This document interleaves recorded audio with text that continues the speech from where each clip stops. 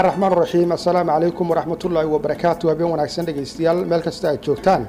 Kusoo dhowaada barnaamijka caweysnimo ee caawiya daljira.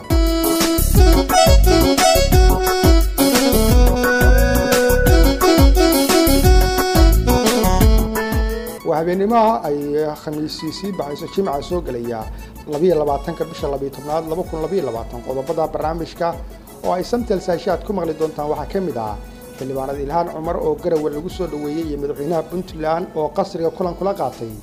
Ciidamada dowladda oo la wareegay deegaanka ruunigood ee gobolka shabeellaha dhexe beelihii dhowaan shaqaaqadu ku dhex martay gaalkacyo oo kala qaatay duugtii iyo qorigii waxaa kaloo barnaamijkaad ku dhegaysan doontaan ururada bulshada rayidka soomaaliya oo warmuteed ka soo saaray shir uga socday garowe maxaa iska bedelay saamaynta abaartii adkeyd ee dalka soo martay? Warbixin ayaa idinka hayaa. Shirkii golaha wasiirada jubbalandna waxaa looga hadlay howlgallada jubbaland ka socda.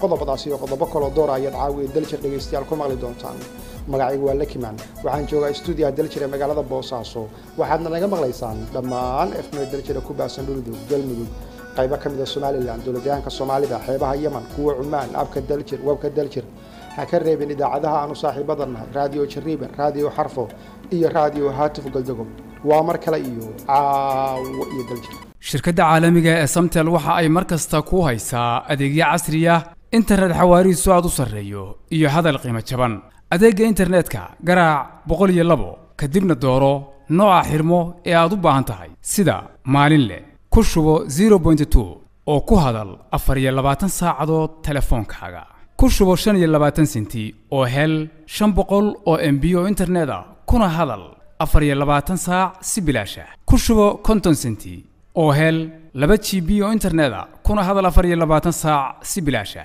Ku shuba hal dollar oo hel saddex g b oo internet a kuna hadal afar iyo labaatan saacadood telefoon bilaasha. Ku shuba laba dollar oo hel lix g b. Kuna hadal afar iyo labaatan saacadood si bilaasha.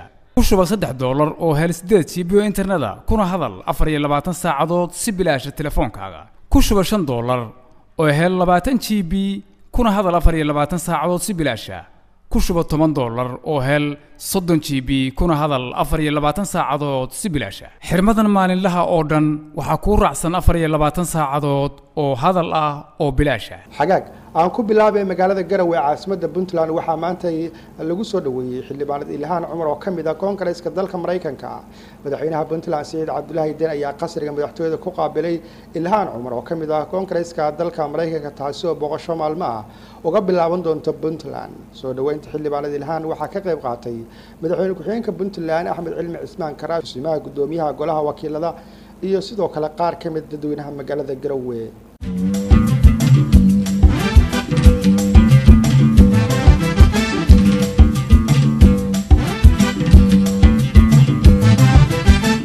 Ciidamada dowladda iyo kuwa deegaanka ayaa la wareegay deegaanka ruunigrood oo gobolka shabeellaha dhexe oo markaasi dhowaan al-shabaab ay isaga baxeen maalmihii ugu dambeeyeyna halkaasi waxaa gacanta ku hayay xarakada al-shabaab. Wasaaradda gaashaandhigga soomaaliya ayaa ka hadashay qabashada deegaankaasi. Bismi illaahi alxamdu lilaah athanaau lilah asalaatu wasalaamu calaa rasuuliillaahi sala allahu calayh waaalih wasaxbihi wasalam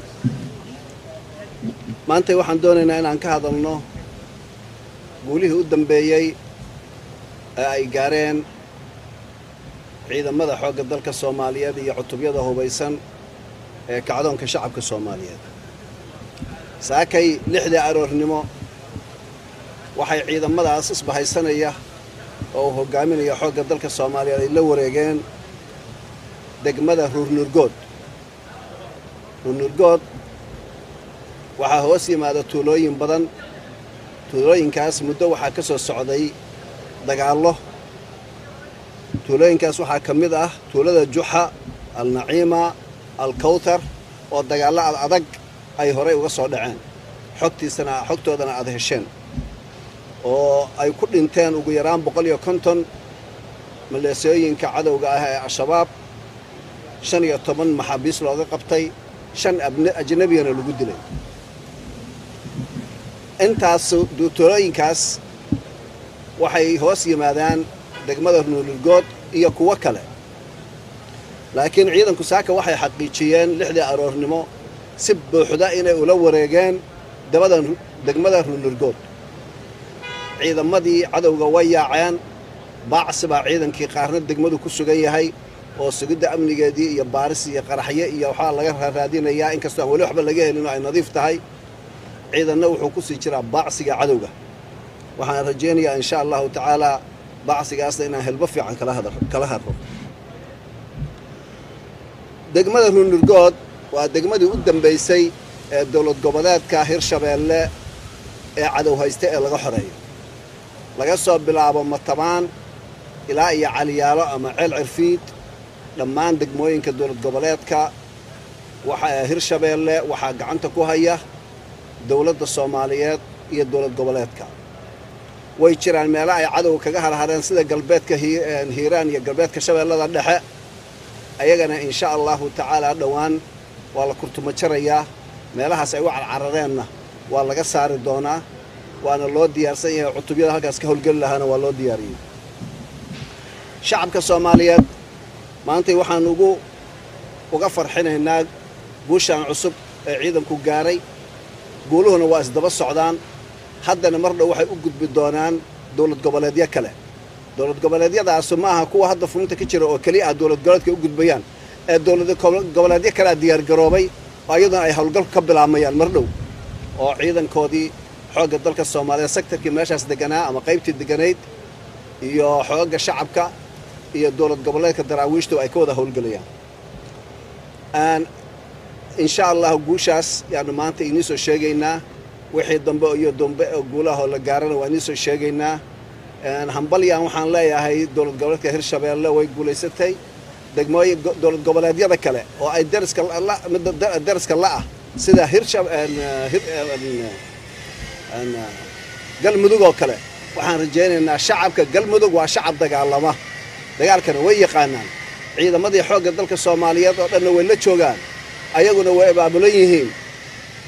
Yaadaan noqonin fulow guul ku dhoweydaa waa in ciidamada lala howlgalo laiskana kiciyo cadowga haysta dowlad goboleedka degmooyinka ugu badan marka laga reebo gobollada jubbaland. Meesha uu cadowga ka haystaa waxaa weeyaan waa dowlad goboleedka iisheeg galmudug.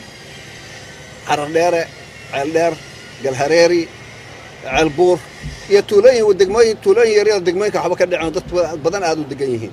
Ciidankiinu waa abaabulan yahay waxaan rajaynaynaa mar dhowaan ciidamadu degmo degmo tuulo tuulo beelbeel deegaan deegaan in insha allahu tacaalaa ciidamadaas iskaashaday xoogga dalka iyo ciidamada qalabka sida iyo ciidamada goboleedka iyo kacdoonka shacabka soomaaliyed inay iska kaashadaan guulo ballaaranna la gaaro. Wabilaahi towfiiq wasalaamu calaykum waraxmat ullahi wabarakaatu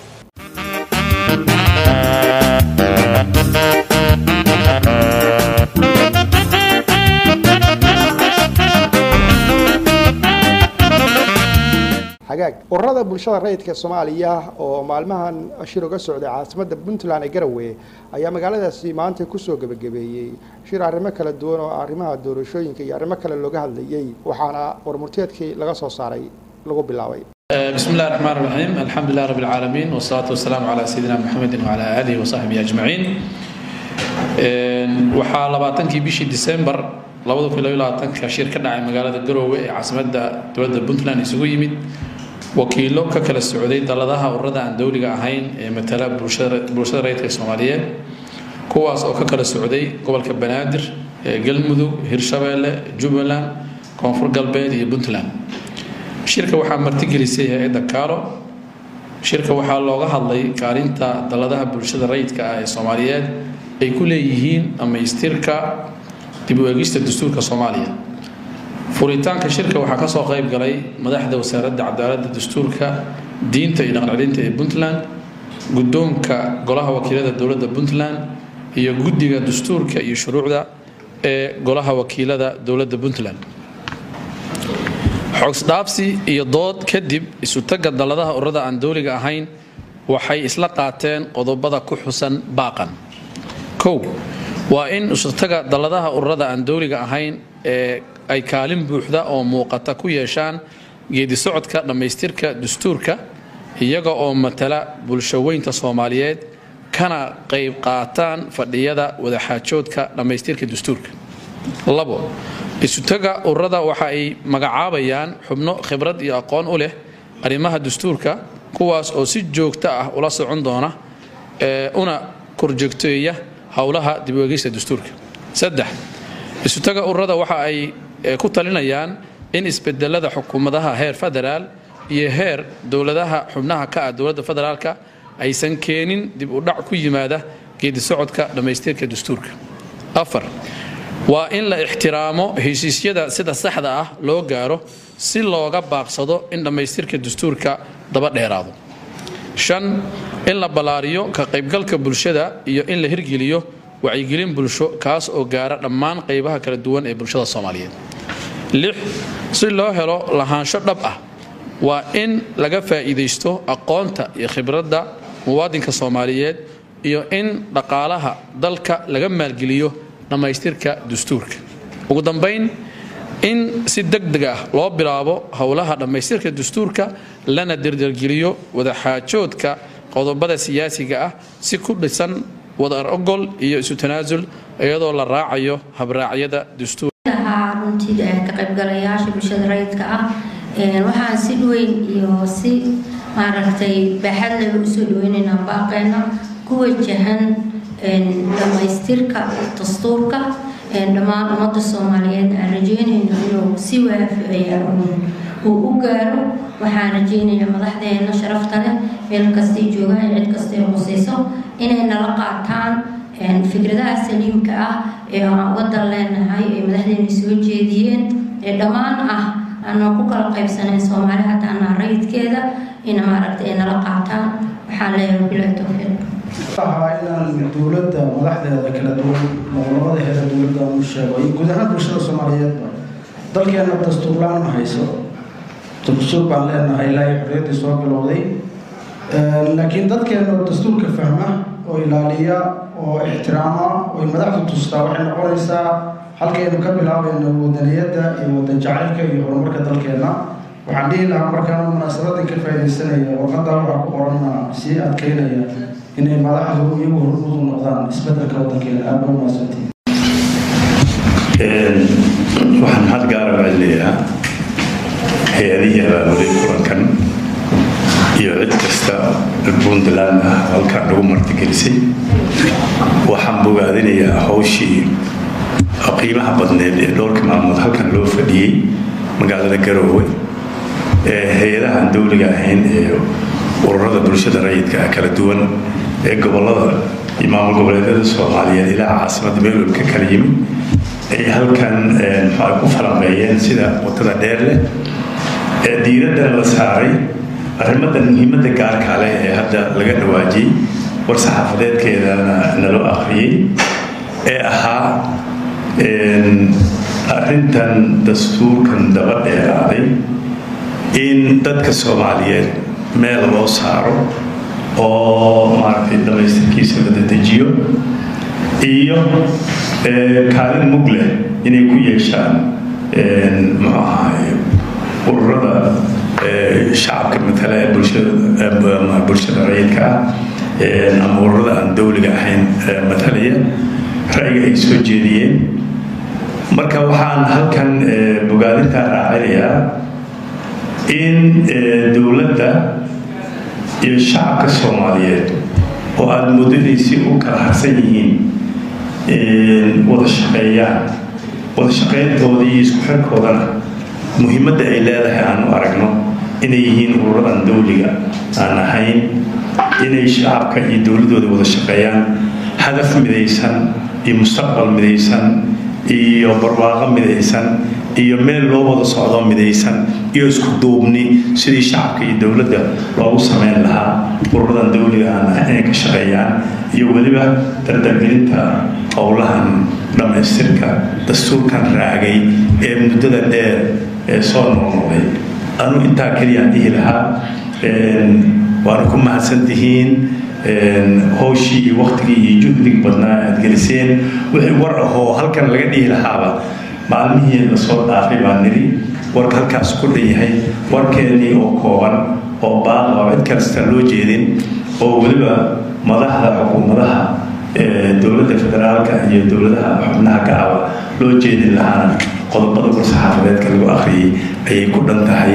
Jazaakum allahu khayran barnaamijku waa caawiya daljir haatana gaalkacyo gaalkacyo beelo dhowaan diriir ay ku dhex martay gudaha magaaladaasi gaalkacyo waxaa maanta isugu yimaadeen kulan waxayna kala qaateen duugtii iyo qorigii iyo furkii iyadoo madal kale lagu ballamay laguna kala qaadan doono magti.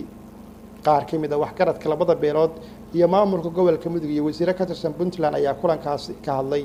Maanta ay bishu tahay labiyo labaatankii bishii disembar laba kun iyo labaatan iyo labo madashaan hadda aanu joognaa hotel aljasiira magaalada gaalkacyo waxaa iskugu yimid walaalihii ehelka ahaa oo magaalada gaalkacyood dadkii ku dhintay odayaashoodii ahaa iyo guddiga dhexdhexaadinta iyo maamulkii dowladda oo gubernatoorahii iyo wasiir agaasimihii amniga iyo madax kale intaba ay ku jiraan. Waxaa lagu dhammaystiray madasha tan dhammaan waxyaabihii ka horrayn jiray magaha sida duugihii iyo furkii iyo muqaabilaadkii kaleeto oo hoos imaan jiray dhammaantood baa lagu dhammaystiray. Waxyaabihii ka dhimanna wadib baa laga dhammaystiri doonaa. Waxaa intaa dheer waxaa lagaga heshiiyey madasha tan magihii sidii loo kala qaadan lahaa iyo qaymihii shantaas nin shantaa nin nin ka mida waxaa laga rabaa beesha reer mahad saddex ka midana waxaa laga rabaa beesha reer samatar nin ka midana waxaa laga rabaa beesha cumar maxamuud oo aan reer mahad ku jirinin. Qaymaha lagaga heshiiyey hashi waxaa lagaga heshiiyey boqol iyo afartan geela ninkiiba. Sidaasaana arrintaa qaybteedii hore ay ku dhammaatay heshiiskeediina ku gebagaboobay aad iyo aad waxaanu ugu sheegaynaa bulshada gobolka mudug guud ahaan puntland guud ahaan soomaaliya miyi iyo magaalo dadka jooga. Xaajadaas inay ku dhammaatay walaalnimo iyo gacan iska saar saasaana hawshaasi ku afjarantay. Sida odayaashii iga horreeyeen baa ka hadleen gogoshaa nabadeed oo muddo fidsanayd. Waxaa lagu xallinayey shaqaaqooyinkii ka dhacay gobolka mudug. Qayb ka mid ah oo u dhaxaysay beesha reer samantar iyo reer mahad sida odayaashu sheegeen gogoshaan saaka waxaa lagu kala wareegsaday duugihii shan nin saddex nin oo reer mahada iyo laba nin oo reer samantara furkii iyo qorigii shantaa nin saasaa loo kala wareegsaday. Sida odayaashu sheegeenna qaabkii loo kala wareegsaday odayaashu horaa ka hadlay. Waxaa kaloo laga ballamay oo iyadana lagu heshiiyey diyadii dadkaas oo boqol iyo afartan halaad calaa nin ah. Waxaan rajaynayaa dadka gobolka mudug ama magaalada gaalkacyo degan cuqaasha iyo maamulka gobolka iyo golaha wasiirada oo nala joogaa wixii ay ka soo shaqeeyeen oo suluxa ahaa oo nabadgelyada ahaa oo deganaanshaha deegaanka ahaa oo dadnimada ahaa in magaalada sidaas loogu soo celiyo. Magaaladuna waa xasiloonayd hadda si fiican baa maamulka gobolka ay uga shaqeeyeen amnigiisii. Waana degan tahay wayna xasiloon tahay waxaana rajaynaynaa insha allahu in maaragtay sidaas lagu sii hayo iclaankaas la ogaado arrimahaasi waa dhammaadeen wixii ka haray oo ama dhaawacyo leh ama dhaqan leh dib baa looga wada hadlaya wax laga haray oo laga tegey ama la ilaawey ma ah qolyaha iyaga guddiga iyo maamulka gobolku iyo isimadii gobolku waxaan marka baaq uga dirayaa halkan jifooyinkii ashqaaqadaasu dhex madhay odayaashoodii waa joogaan laakiin dadkii arrintaasi ku lug lahaa ama colaadda horinayey ha ogaadeen nabad baa la qaatay. Dalka nabad buu dadka ku deeqaa magaaladu nabad bay wax ku tahay innagu nabad baynu wax ku nahay. Waxaan rajaynayaa in baaqaas sida uu yahay loo qaato. Wixii annagu noo qabsoomayna waa intaas. Walaalayaal waxaa halkan ka dhacay wax ballaaran oo aad u qiimo badan oo aannu is leenahay bulshadu waxay u tahay masaalixdeeda. Insha allahu tacaalaa sidii odayaashii hore uga sheekeeyeen waxaa la qaatay shantaas nin in duugtoodii iyo furkoodii iyo xaal waxay lahaydba laysku wareejiyo. Oo xafladdan xaflad aad u qurux badan weeye in laysku wareejiyo waana laysku wareejiye.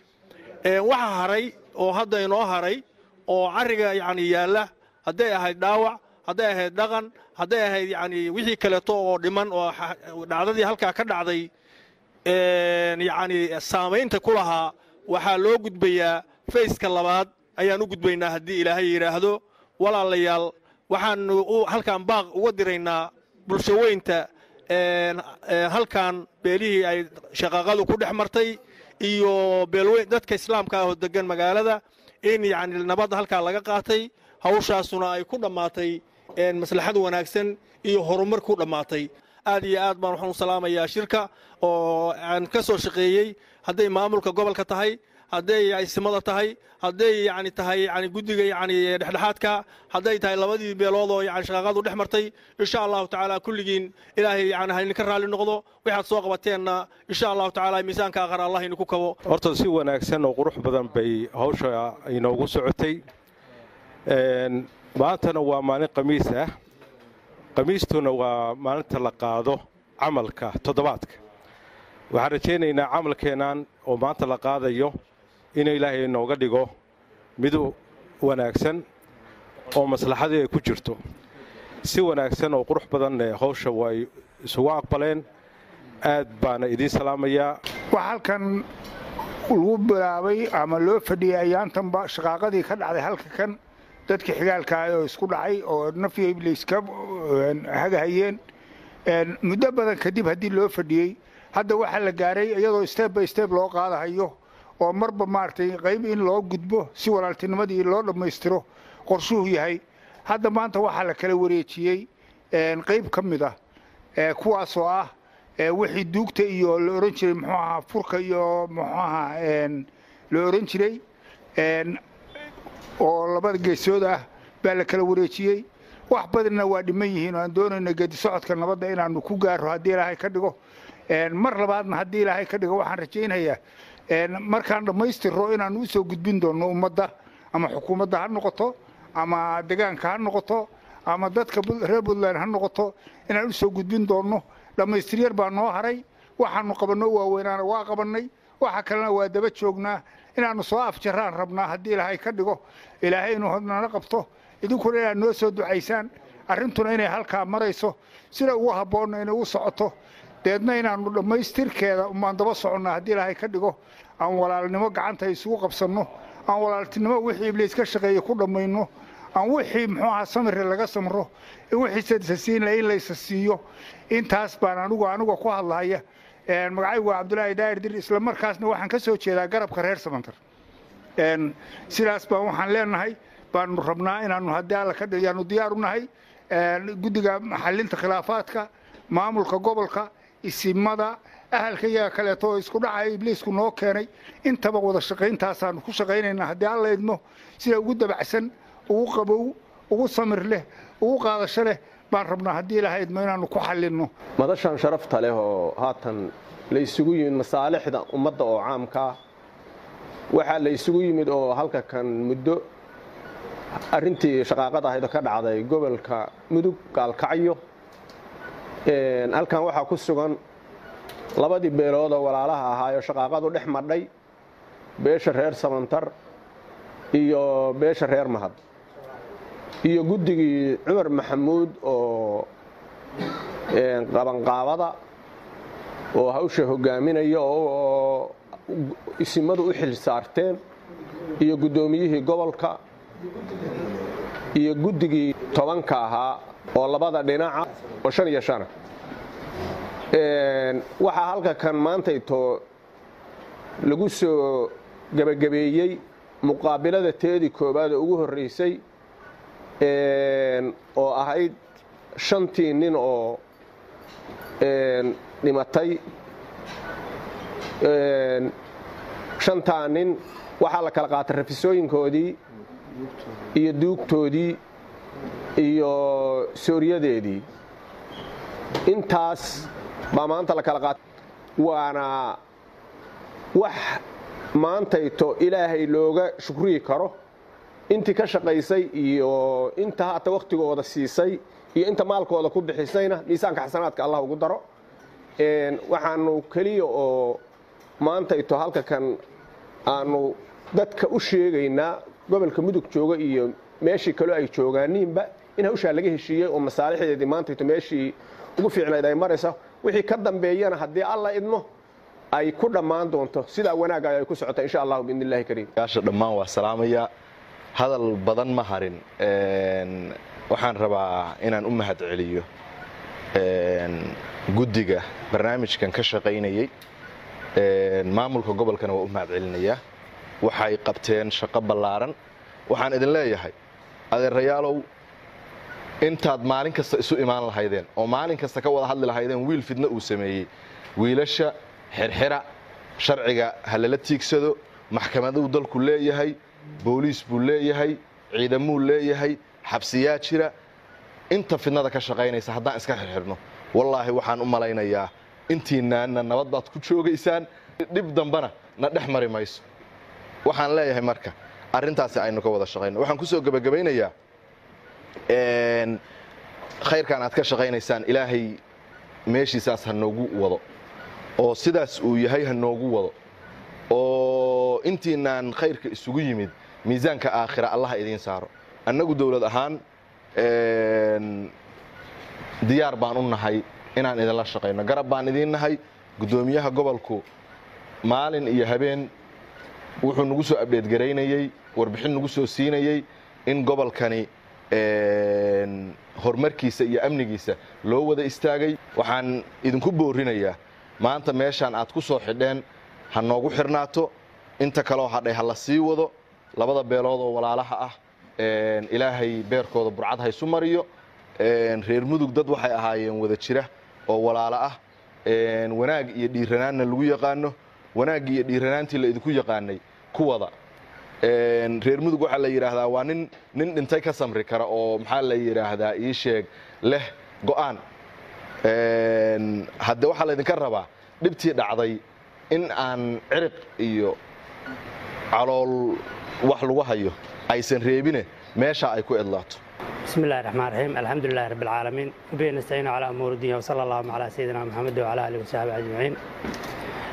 Awalan maantay oo aynu isugu nimid munaasabaddan lagula kala wareegayay duugtii iyo qoryihii iyo furkii iyo yacnii laysuguna tacsiyeynayey lagu jaangooyey magihii shan nin oo ku kala dhintay labada dhinac waxaan u mahad celinayaa odayaashii ka soo shaqeeyey oo cuqaasha ahaa oo isimadu marjaca u ahaayeen. Odayaashaas oo shan toban xubnood ka koobnaa oo caaqil xabiib oo oday u ahaa haatan garbahayga fadhiya. Xaqiiqatan shaqo dheer bay qabteen shaqo adag bay qabteen. Aan cidi mushaar ku siinayn ilaahay agtiisa xasanaad ay uga raadinayeen. Ajar in ilaahay ka siiyo ilaahay baan uga baryayaa dalka iyo dadka baadna geliseen juhdigiinna meel yacni ku munaasiba aakhiradii adduunkiinnaba baad geliseen. Intaas waa mahadnaq guud odayaasha iyo ismadii marjaca oo ahaa. Labada dhinac odayaasha ishor fadhiya oo labadii qoys oo walaalaha ahaa oo hoose oo wax ka dhaceenna. Waxaan uga mahad celinayaa sida wanaagsan oo ay isugu soo hoydeen oo ay xaajada u soo fududeeyeen xaajo laba bilood ama bil loo fadhiyo shan nin meelay ku dhimatay iyo dhaawac tiro badan iyo hanti intaa leego lagu kala furtay. Wax sahlan ma aha haddii ilaahay kuu roon yahay. Muddada intaa leeg in lagu dhammeeyo waa dhaganugeylkooda iyo odaynimadooda iyo isu samirkooda iyo tanaasulkooda sidii dadka mandaqadan ku nool. Dhaqankaba u ahaan jirtay. In la isu tanaasulo oo raad arooryo aan dib loo raacin bay ahayd. Iyagana waa uga mahad celinayaa labada odayaal. Laba kelmadood baan midna baan waxaan odhanayaa dadka reer gaalkacyood labada kelmadood waxa weeye mid reer gaalkacyoodoo horta war xumow laguwaa waa la heshiiyey. Ninkii qori watay oo la heetinayey dekane iyo aano iyo ciilbax horta maanta waa la heshiiyey middaa ogow. Hawshaasi waa dhammaatay si wanaagsan oo ehelnimo leh oo walaalnimo leh oo islaamnimo leh. Baa odayaashu hawshaa u soo gabagabeeyeen dadku sidaa ha ogaadeen meel walba ha marto mudug ha laga ogaado wixii dhiman oo haatan xilliga kala qaadashadeeda iyo howlaha kale oo dhidhiman oo shilalkan la xiriiray ayaguna waa soconayaanoo guddigaa wadaya. Waxaana jira howlo hore oo jiray oo gaalkacyo ka dhacay oo shilal ah oo aan cidna wax iska weydiin. Waa la raseeyey waa la raseeyey waa la raseeyey waa iska raysaysan yihiin. Cid furtayna ma jirto. Maamul ahaan waxaan go'aan ku gaarray inaan furro hawshaas. Inaan furro hawshaas oo hawshaa israsaysan oo isdaba taalla. Maalinba maal hawl la dul saaroo la yidhaahdo tii hore ka dabagee xal ma ahan daawona ma ahan. Waxaa la rabaa ehelnimo waxay lagu soo ururiyaa la rabaa iyo islaamnimo.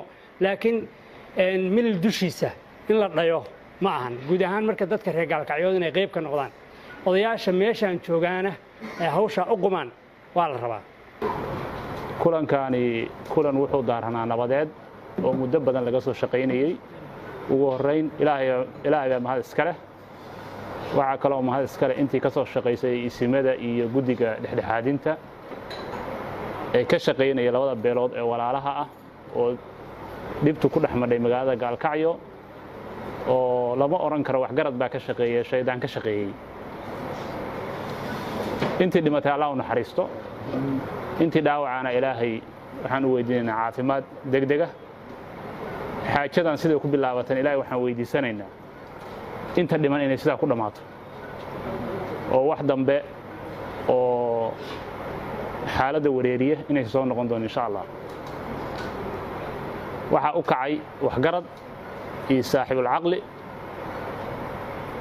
insha allah waxaan rajaynaynaa inaysa waxba ka soo noqon doonin.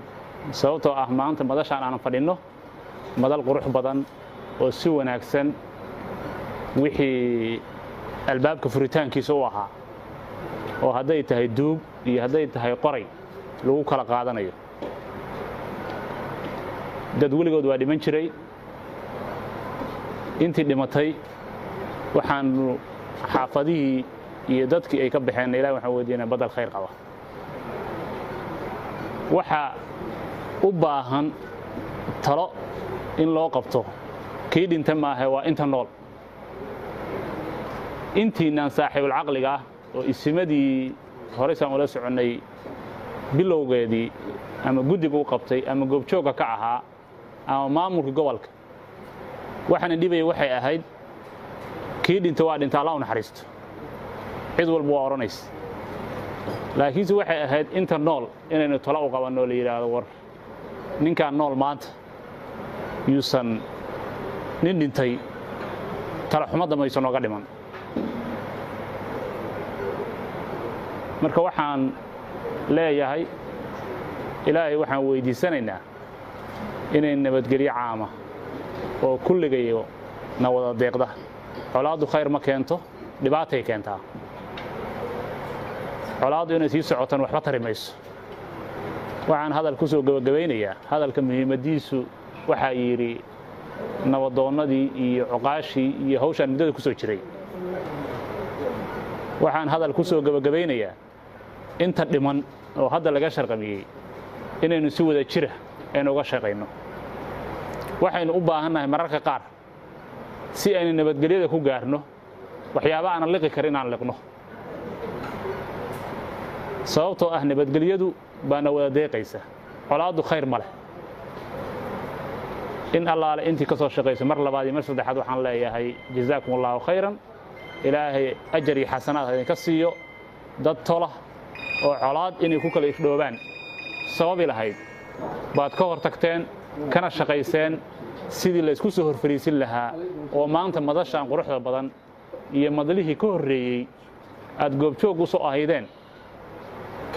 Aad isku soo horfariiseen maantana labadii dhinac odayaashii ka hadlay markii guddiga laga saaro sida wanaagsan ay u hadleen ayagana uga mahad celinaynaa inta naga maqan oo aan maanta gogashaan jooginna waxaan u diraynaa baaq in nabadgelyada la wada qaato. Qof markuu wax bi'iyo intii ka soo shaqayn jiray waa intaan. Iyadaana lagu qaadan jiray.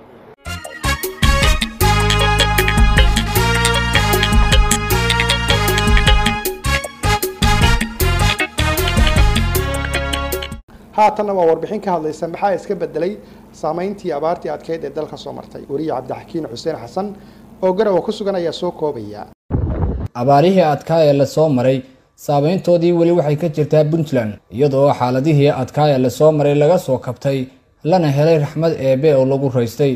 Haddaba warbixinteenna ayaynu ku dul istaagi doonaa saameyntaas iyo halka uu ku dambeeyey gurmadkii. Dowladdu ay bilowday sii socoshadiisa. Sheekh maxamuud xaaji yuusuf waxa uu ka mid ahaa guddiga gurmadka abaaraha puntland wuxuu rediw daljir u sheegay in saameynta abaartu ay weli jirto oo meelaha qaar laga cabanayo xilligan.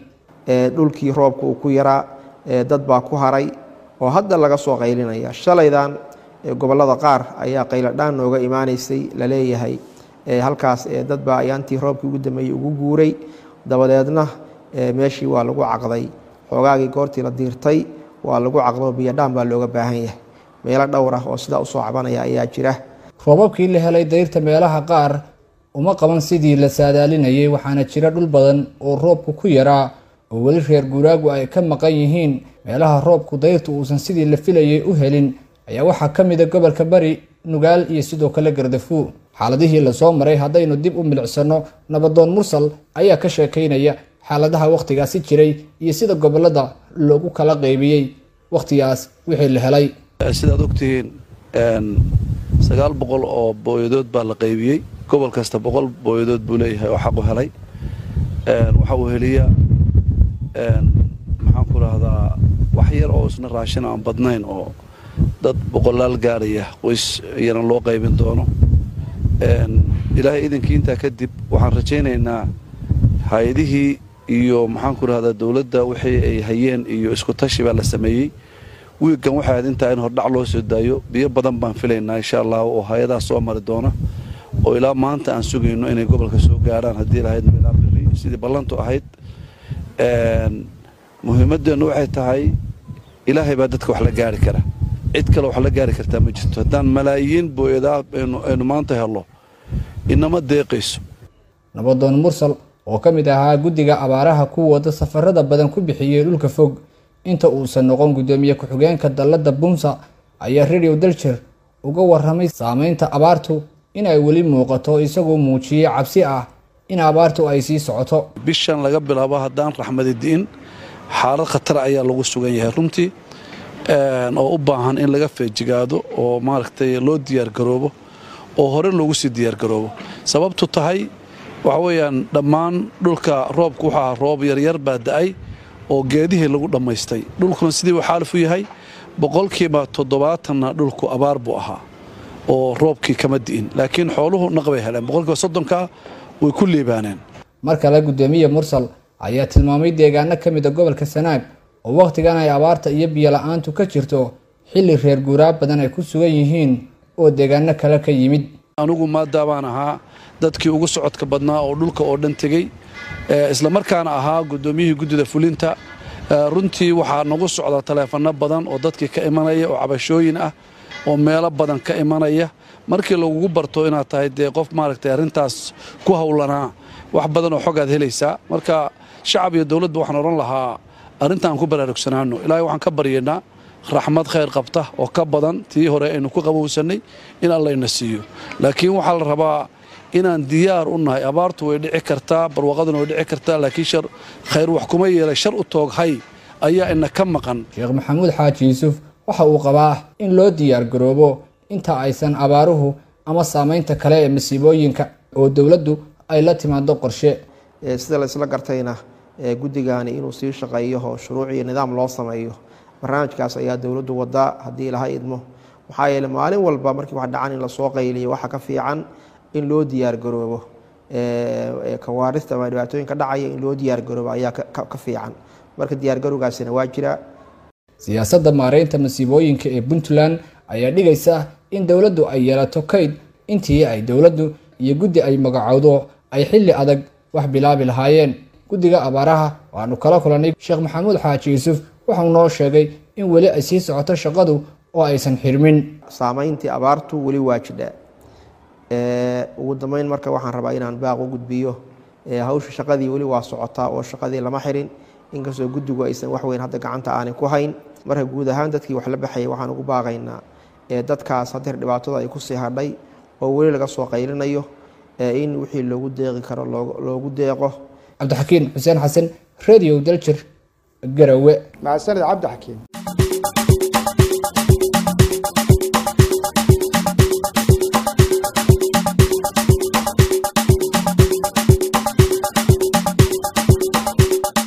Haatanna ku-simaha madaxweynaha ahna madaxweyne ku-xigeenka koowaad ee jubbaland maxamuud aadan ayaa maanta shir guddoomiye shirka golaha wasiirada jubbaland. Shirkan ayaa inta badan la isku xog wareysanayay xogaha amniga jubbaland iyo xoreynta gobollada jubbaland.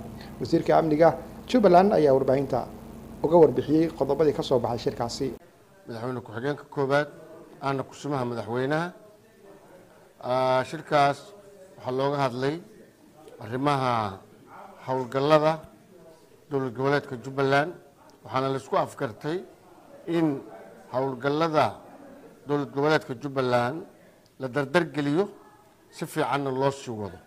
Qodobkaas aad baa laiskugu afkarkay qodobka labaad oo aada iyo aada loogu soo qaaday waxaa ka mid ahaa arrimaha amniga maxaan ku idhaahdaa gobolka gedo. Arrimaha amniga gobolka gedo waxaa u xil saaran ciidamada qalabka sida ee qaranka ee gacanta ku haya degmooyinka gobolka gedo isla mar ahaantaasna in looga dambeeyo barnaamijyada kale oo ka socdo sida abaabulada iyo jabhadaha iyo waxa la midka ana barnaamijkaasna in dowladda go'aan ay ka gaarto lana joojiyo dadka abaarta ay hayso oo maxaan ku yahay barakacayaasha iyo meelaha amniga ah oo dadka soomaaliyeed ay ku soo qaxahayaan. Inaan looga sii darin dadka siyaasiyiinta oo hadda ku suganna in qofka xasaanad lena xasaanadiisu aado kii aan xasaanad lahaynna hadduu rabo mas'uuliyad uu ka dhex raadsada dadka soomaaliyeed. Laakiin loo daayo deegaanada maxaan ku idhahdaa amnigoodana aan khalkhal la gelinin dadka mas'uuliyiinta oo gacanta ku hayana loo daayo oo aan khalkhal ayadana la gelinin. Lana xaq dhowro nidaamka dowladnimada iyo nidaamka maxaan ku idhahdaa shuruucda ay leeda uu leeyahay qaranka iyo nidaamka degenaanshaha iyo kala dambeynta degmooyinka gobollada iyo dowlad goboleedyada iyo qaranka. Qodobkaasna waxaan rabaa inaan intaa ku daayo. Qodobka saddexaad waxaa weeyo waxaa lagu ansixiyey xeerka isgaarsiinta qaabka loola tacaamuli lahaa isgaarsiinta dowlad goboleedka jubbaland ku sugan iyo isgaarsiinta maxaan ku dhahdaa ka howlgasho ayadana goluhu wuu isku afgartay waana la ansixiyey waana buuggaasa ka mid ah qaabka loo ansixiyey systemkeed iyo shuruucda iyo xeerka. Qodobkaasna waxaan rabaa in intaa ku daayo. Qodobka ugu dambeeyo shirka waxaa ka soo qayb galay xeer ilaalyaha guud ee dowlad goboleedka jubbaland wuxuuna ka jeediyey sanadka labada kun iyo labi iyo labaatanka dunuubihii ka dhacay dowlad goboleedka jubbaland wuxuu kaloo soo jeediyey xeerarka ay sameynayaan wasaaradaha. Mar walba markii la sameeyo xeerarka in lala wadaago wasaaradda cadaaladda iyo xeer ilaalyaha guud. Taasna waa la isku afgartay. Guud ahaan waxaan rajayneynaa dalkeenna soomaaliya iyo dowladda federaalka ee soomaaliya iyo dowlad goboleedka iyo dhammaan ciidamada qaranka iyo dadka soomaaliyeed in sida uu ku baaqay madaxweynaha federaalka layska xoreeyo khawaariijta dul saaran dadkeenna u diiday tabcashada maxaan ku idhaahdaa caafimaadka tacliinta iyo ganacsi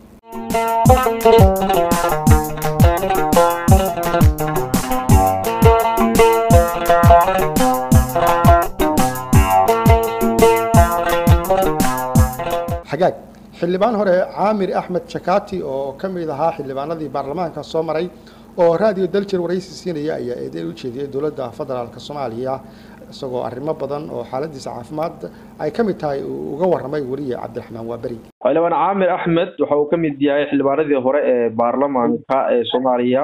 Muddooyinkii ugu dambeeyey waxa uu ku xanuunsanaa muqdisho hase yeeshee waxaa loo qaaday dalka turkiga si xaaladiisa caafimaad wax lagala soo qabto hase yeeshee waa lagu guuleysan waayay ugu dambeyntii muqdisho ayaa dib loogu soo celiyey. Hadda xaaladiisa caafimaad ayaan wax ka weydiinaynaa ku soo dhowo warbaahinta daljir. Horta alxamdulilah turkiya saddex mar ayaan tagay. Isbitaalaan galay waxleeqawta waxna maleeqaad dalkan ku soo laabtay. Dalka ayaa loo daaweeyay hadda. Alxamdulilah wadnaha iyo xeedaha lugaha wadnaha dhiiga kulli okay waa isbitaal cusub hadda la furay oo red sea la dhaho ku yaalla oo waa gartay goormuu ku soo wajahay xanuunkan adiga? Xanuunkan markii hore waa iska yaraysana siyaasad ninku jiro waa ogtahay wadna xanuun iyo dhiigka iyo sokor iyo kolestarool iyo bulshada iyo qalaiyo siyaasad waa ogtahay marka waktiyadaas kuushikan qaadayna iyo markaan aragno waxyaalaha oo dul qaadan kari shacabku kacaayo oo la rabo rashwa in lagu siiyo la dhaho mooshinaa la suubiya lacagta qaado. Anigana waxaan ahaa jirta ka soo horjeeda mooshinka marka la qora lacagta la siiyo. Aniga waxaan jeclahay cadaaladda cadaaladna ilaaha suubiya soomaaliya ilaahay tusa cadaalad. Baarlamaankii hore ama baarlamaankii hore ee soomaaliya ayaa ka mid aheyd dalka wax badan baad u soo qabatay marka ka waran hadda xaaladaada caafimaad waa sidee? Caafimaadkeeda aada u fiican yahay. Runtaa waa baarlamaankii hore ka mid ah. Waxaa kuwa dawladda dhaliya hadda la sheegaya dadka dhaliya ka mid nahay waagii cabdiqaasim ilaa cabdullaahi yuusuf ilaa sheekh shariif jabuuti. Ka bacdi waayo markii dambe oo waxyaala oo dhaceen sii doonta u dhacdeen ilaahayna calafkeeda maka dhigin.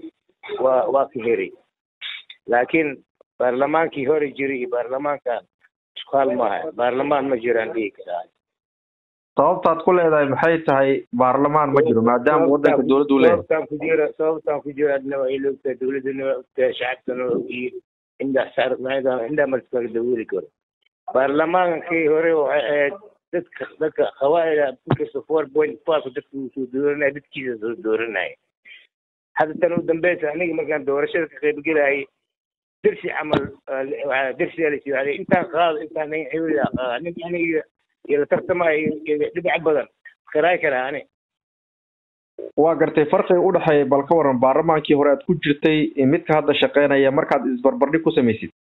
Adaaba ujeedaaba baarlamaanka inkastoo aan jeclahay baarlamaanka inuu hagaaga shacabka wax ay qabtaan gudka meeshan waa laga tega adduunkan waa laga tega aakhiraa loo socdaa. Inkiisdaayo waa ku raagi maraagis haddii dulmi geysatidna waa laga aaraa ummadan haloo soo jeesto. Soddon saddex sana dalka joogaa dhaawacaan ku noqdo wax la ku noqdo waa ku jirtay hadda kitaabka soo baxay. Ummadan ilaahay unti aniga ka mid ahay. Ilaahay waxaan ka baryaa dhibka inuu ilaahay ka saaro. Shacabka oo mas'uuliyiinta ilaahay siin xilkiisu hadda oo u dhiibo ama baarlamaan ahaado ama xukuumad ahaado ama madaxweyne ahaado waxaan ka rajaynayaa inay shacabku shacabka masaakiinta u turaan ilaahay ay ka cabsadaan ummadan waa dhibaateysan yihiin waa baaba'san yihiin qaxootiyaa banaanka ka timid qaxootiyaa gobollada ka timid baahayaa jiro waxaa jiro. Dadna dayaarada iskaga wareega waa iska baxa. Lacagaha lacag shacabka wax looga qaada lahay iskool lagu dhisi lahay caafimaad lagu qaban lahay jid lagu suubi lahaa. Meeshii ka baxda lama ogo. Marka mar la waa arkaysaa ninkii wax suubiyo jagadaa laga qaadaa. Taas sharci ma naqanaya cadaala horta ilaahaa suubiyo ayagana jidka fiican ilaaha ku soo toosiyo umadaanne ishooda ha laga cabsado. Haddii laga cabsado ummadaan ishoodii waxawaaye rabbigeena intu wuxuu dhahay ninkii ummadeedi dhibo annama macagsinay marka marka haddii ummadan dhibaan ayagana ha ogaadaan in ilaahay dhibaayo. Ama aakhiro ku dhibi doonaa godka ama adduunya waa gartay halkee wax ka qaldan inaad is leedahay? Waa laga sixi karaa xilligan? Wax badan ay ka qaldan yihiin. Ayagana waa ogyihiin annagana waa ognahay idinkana waa ogtihiin ay sidee wax lagu sixi karaa marka. Taas waxaa waxay keenaysaa in ilaahay loo noqdo. Garte dowladda soomaaliya xaaladaada caafimaad maxay ka qabatay? Dawladda waxay hadda xaaladeedii ay ka qabatay mal aniga wax aan ma jiro laakiin markii dhaawac naqanayay ee la dhaawacay waagi in cabdirashiid riisul ahaa uganda laga qaaday taas keliya wax laga dowladda hadda jirta maxay ku qabatay adiga sanataan markii hore oo xasan ahaan wax iima qaban haddana wax iima qaban hay. Ani ani darajo ani xasan maka rabo gudoomiye baarlamaan darajo maka rabo ra'iisul wasaare maka rabo. Darajo ilaahay sii karo haddii ilaahay agtiisa igu qoran tahay cid iga reebaya male laakiin hadda waa waa la socotaa saaxiibkeygiyo waa beri aniga samafalaa isku soo bedelay agoon iyo ilmadan yara gacanta ku haya waa ogtahay. Qaxootiyaasha kaamka kaxda iyo meelahaas kale ayaa wada hadda waa xanuunsanahay waa soo baxay waxaan rabaa ramadaankan soo dhow. Markaan maleeya ramadaankaan rabaa inaan labadan birsmaan haddaan xoogaa soo soo ramadaanka afurkiisa inaan diyaar ilaa saddex boqol afar soo afurkooda siiyo waa gartay dhanka kale dowladda soomaaliya shalay waxay ka dhawaajisay in qaybtii ugu horeysay ciidamo tababar loogu qaaday wadankaasi eritrea in dib loogu soo celiyay. Adiga sidee aragta arrinkaas? Wallahi horta ciidamadaas soo celiya horta waa fiican yahay waana ku arwaaxa laakiin dhibaatooyin fara badan ay keensatay. Ciidankii waa la gatay cilmihii meel xunaa la geeyey kanaa la geeyey siyaasadda waxaa loo bedelay soo kalea loo bedelay haddana ilaahay waxaan rajeynayaa ninkii waxaas daayine markuu meesha tagay uu arkay indhihiisa wax ku soo arkay asaaba isbedeli bu marka isbeddelka oo hadda isbeddelka oo dhacaya dowladdan isbeddel waa isku dhisaa cadaalad waa inay ku dadaashaa waa gartay rajo fiican ay ummaddu horseedaysa ma lasdhihi karaa? Mar haddii ay bilowdeen in ciidamadii eritrea in dalka dib loo socday. haddii laakiin haddii alifka lahaa albaqra ma toosaayo. Ay. Alifka dowladdu waa dowladda hadday qaloocato iyagana waa qaloocanaya ay. Marka alif hadduu walaabaan ku yidhi albaqra ma toosaa ay. Marka waxaan leeyahay ilaahay waxaan ka baryaa in annaga oo dhan ba kulligeen ilaahayna u naqano masaajidaha tagno ilaahay tuugno tooba dhan dembi waa galnay dembiga ilaahay naga cafiyo kulligeenigu intii geysatayna ilaahay cafiyo intaa darafta dembi isku dhisna ilaahay ka qabto ummadana haloo turo ummadan waa daalan yihiin waa noogan yihiin ma ogi karaan dagaal hadday dhex meelaha tagaan ma haystaan waxay cunaan ma haystaan ma dhoofi karaan. Marka dadka kale ilmahooda banaanka shay geysteen. Aniga soddon iyo saddex sano banaan ma niyeysanin haddana ma u socdo. Waan gartay. Ugu dambeyntii maxaad ku talin lehed waxaan ku talin lahay nabad iyo nolol iyo caafimaad iyo ilaahay ka cabsi shacabkana inay shacabkana inay ilaahay bariyaan dowladdooda taageeraan dowladdooda gacan siiyaan dowlad shaksi maaha dowlad waxa waaye shacabka waay shacabka waxaa laga rabaa dowladdooda haddii xunta haytaa dowlad la'aanay karoon tahay in dowladda gacan siiyaan taageeraan toosiyaan la hadlaan baarlamaanka aqalka sare aqalka hoose sifooyin oo iyaga ka mid ah ka mid ah baarlamaanka inay la hadlaan waxay qalad aheen tusaan xildhibaanada maxaa u sheegaa guryaha isku imaanaya ama cunugka xiran ama dhibaatadaas ama cunug jir oo wax ka jiran oo idin soo doonaya dhahaysiin adoo soo joogid waa jiifaadhe mase ma joogata saas ma dhaafa. Xoolaha haddii ilaahay saddex kun afartan kun ku siiyey bir inaad ogaashidaa laga yaabo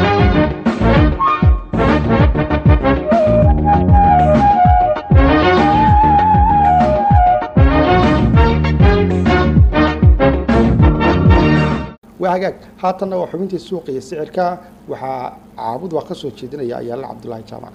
Dhegaystayaal ku soo dhowaada xubintii sicirka iyo suuqa. Maanta caabud waa kiishka bariiska ah kontonka kiilo qiimihiisu waa soddon iyo laba dollar. Kiishka burka ah qiimihiisu waa soddon iyo toddoba dollar. Kiishka sokorta ah waa labiyo konton dollar kortoonka baasada ah nooca xilwa waa koob iyo toban dollar halka noocyada kale ay yihiin sagaal dollar iyo bar. Caagadda saliidda ah waa lix dollar caanaha daasada weyn nooca xilwa waa toddobiyo toban dollar. Dhinaca qudaarta haddaan u leexdo kiilada bardhada ah waa toddobaatan senti kiilada basasha ah waa siddeetan senti kiilada yaayamuroleyda ah waa siddeetan senti dhinaca shidaalka baasiinka taangigii waa lix iyo labaatan dollar naaftada taangigii waa afar iyo labaatan dollar gaaska cuntada halka keji waa soddon halka nooc kalena uu yahay koob iyo afartan. Iibka xoolaha geela qalliinka ah neefka ugu hilboon waa toddoba boqol oo dollar ilaa lix boqol iyo konton. Dibaaxa ariga neefka ugu hilboon waa shan iyo lixdan dollar